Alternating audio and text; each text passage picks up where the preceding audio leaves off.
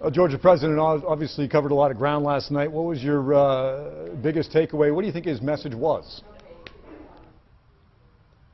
His message was, we're on this. I mean, the president was trying to reassure the country that we have a strategy to take on ISIS, both at home and abroad. I think he was also trying to say, you know, be calm and don't turn on each other.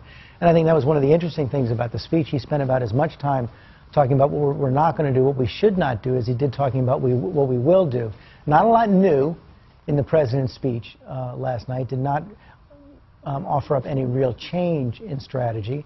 And you know, you still have a lot of his critics out there saying that's exactly what we need uh, right now. But it's, it's, it's kind of interesting. Even some of his most harsh critics don't have specific alternatives to what the president's proposing right now.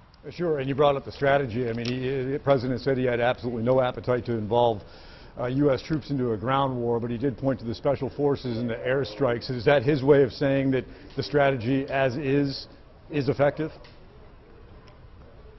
Well, that's the intensification. He's not. I don't think the president is arguing that anymore. He had argued that in the past, although I think they're making some progress in Iraq and northern Syria. The, the, the, president's not going to be making that argument anymore that ISIS is contained, particularly in light of this new intelligence report that has come out that talks about the spread of ISIS uh, around the world. But you have seen uh, an uh, ramping up of the airstrikes. You have seen an expansion of the special forces. That's what Defense Secretary Ash Carter was um, was proposing last week, and I think you'll see more of that uh, going forward as well. I think the big unanswered question is if you can find a way to take more ground from ISIS in Iraq and Syria, will that actually make them look like losers in the rest of the world and actually uh, lower the overall threat? I think that's the big, the big X factor now that we simply don't know the, the full answer to yet. And uh, while the president obviously spoke at length about international terror and the threat that it poses, he also invoked gun control into his remarks. By your estimation, did it fit in this speech?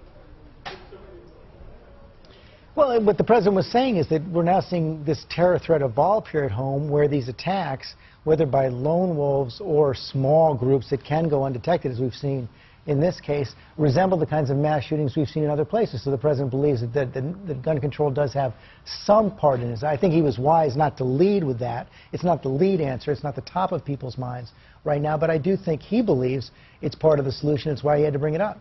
Uh, lastly, George, uh, it's often noted, you know, how presidents age in the Oval Office, uh, particularly wartime presidents. It did strike me just how fatigued this president looked. Do you think that this is uh, taking a toll on him personally? Boy, you could see it, Josh. I don't know about this in particular, but he's now seven years in.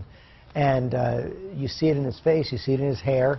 It's gone great. I think I once wrote that each year in the White House is like dog years. It's not quite that bad, not quite seven years to one, but it's you know a, a good two to one right there, particularly with the president who's started out dealing with the financial crisis and has been dealing with the terror threat straight through those seven years. I think it is wearing on him. I think it, you can't, uh, it would wear on anybody in that office, and it was, I agree with you, it was showing last night. Certainly not the farewell tour that some presidents enjoy. George, I appreciate, appreciate your time today. Thanks very much for joining us.